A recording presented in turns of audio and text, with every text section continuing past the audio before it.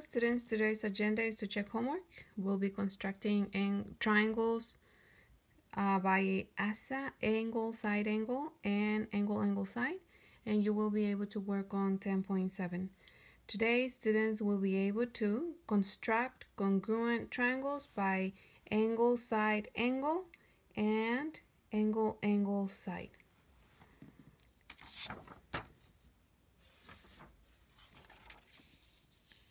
So it says construct a congruent triangle by angle, side, angle.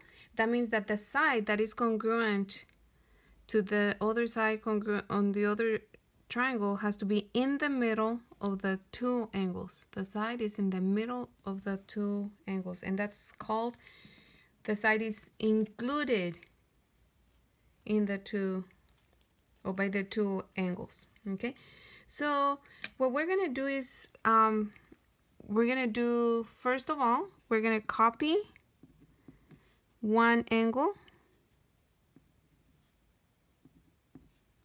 Then the second time the second is we're gonna copy um, a side and it has to be next to the angle that we construct. And then the the other angle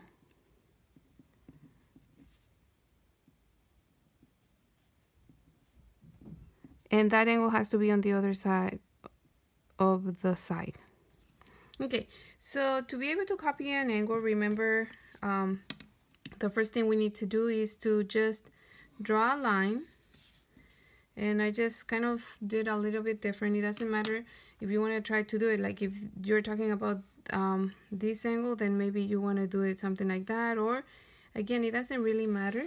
Uh, it just means that our our triangle is going to be slightly translated and rotated. And so to copy an angle, you draw a line. I'm going to copy angle C. So draw an arc on the triangle or the angle that you're going to copy and also where you're going to transfer it. So that means that this is going to be my C prime.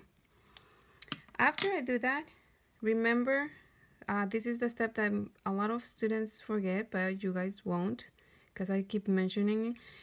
You measure the pizza, pizza crust or the rainbow, okay? And that's just to know how big the pizza crust is going to be on the other one. And so I mark it in there, and that's where my other line will go. After that, I'm gonna choose one of the two sides that are gonna be congruent on both triangles. And it doesn't matter which one you do, but for the last angle, it is important. If you choose this side, then the other angle that you're gonna use is angle B. But if you choose this line, then the other angle is gonna be this one.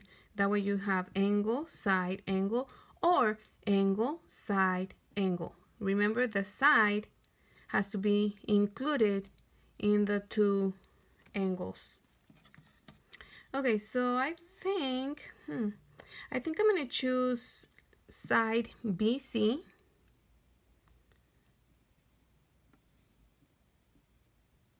And I take its measurement and that way it gives me, I know where C is, C prime, but to find B, all I have to do is copy that side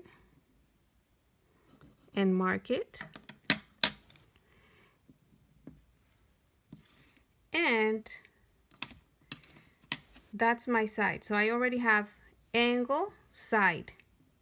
Now I need the other angle. How do I copy the angle? Just like I did with this one, I'm going to copy now angle B. And so let me label that B prime. So again, to copy an angle, the first thing you do is I keep getting the same question how how far or do I open the the compass? And I keep saying it doesn't matter as long as you keep this measurement and transfer the same measurement over here. That's the important part. But it doesn't matter if you if you um, make it a little bit more open or a little more closed, it's okay as long as you keep the same measurement here and here. Okay, and how do I know where the other line is gonna go? The other side? Well, that's why we measure our pizza crust or the rainbow. Now somebody called it the moon as well. okay, and so it tells me that it needs to be that much open and that means that for that to be open that much then my line is going to go through there by having this angle go we can then because this line already exists we don't know how long it's going to be and we don't know how long this is going to be but however when we construct both they meet where point A should be okay? So somebody said oh teacher but it doesn't it doesn't go well that means that you need to extend the other one. Just like it happened to me here just extend it a little bit more and then they will meet so that you can label that a prime. Okay so we just constructed a congruent triangle by angle side angle. Okay what does that mean? That this angle, angle C prime, is congruent to angle C. That angle B prime is congruent to angle B.